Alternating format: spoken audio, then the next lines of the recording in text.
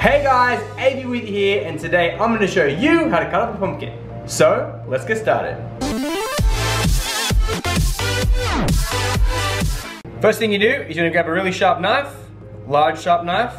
You want to stick it in the top like this, with your hand facing down, and you're going to strike the knife all the way through.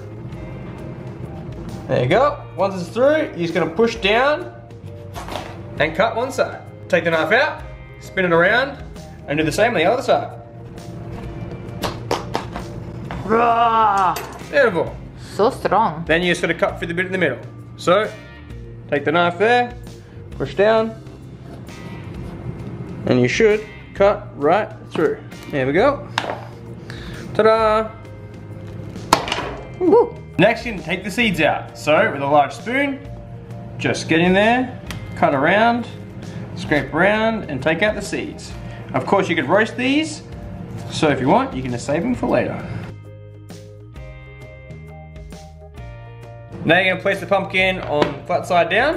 You're gonna grab one side of the pumpkin, and you're gonna grab your knife, and you're gonna push away from you and slice off the skin from the pumpkin. You can eat the skin if you like, but if you wanna take the skin off, this is the easiest way to do it.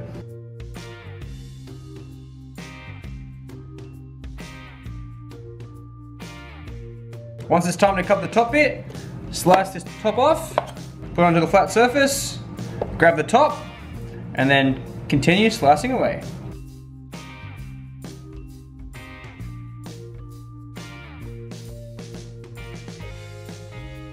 You're gonna grab the pumpkin like this, it's very easy to grip. Grab the inside, and then slice away. As long as you're cutting away from you, you're never gonna cut yourself.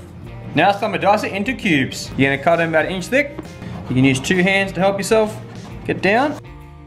Now you've cut it in slices, you can cut it into strips.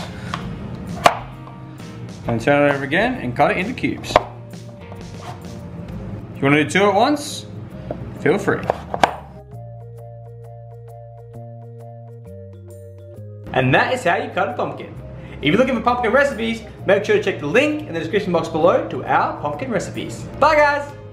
Namaste.